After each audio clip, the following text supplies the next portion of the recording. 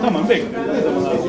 Türk Edebiyatı'na birçok eser kazandırmış Tevfik Fikret'i sevenleri unutmadı. Tevfik Fikret doğumunun 150. yıl dönümünde Ahşan'daki müzeye çevrilen kendi evinde anıldı. Bizim büyük babamızın e, hem eniştesi hem de kuzeni. Yani halasının oğlu. E, ben de Tevfik Fikret hakkında epey inceleme yaptım ve Fikret'te Sanat ve Yaşam diye yazılarım var.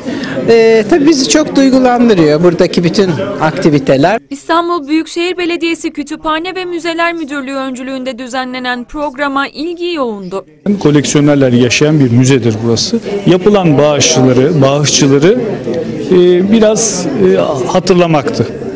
Son birkaç yıl içerisinde yapılan Tevfik Fikret'e ait bağışlar bizim önceliğimiz oldu. Ahşan Müzesi'ni Tevfik Fikret'in sevenleri ve bağışçıları yeniden yapılandırarak birçok eser kazandırdı.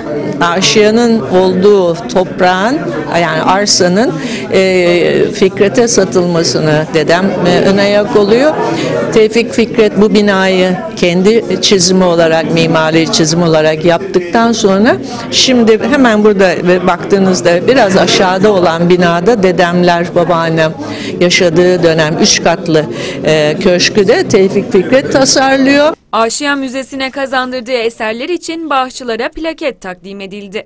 Babamı çok sever, severdi. Babam da onu alıp gezdirir. Böyle bir şeyimiz var, ilişkimiz var ailevi. Hepsinin iyi kötü gördüm yani çocukluğumdan beri.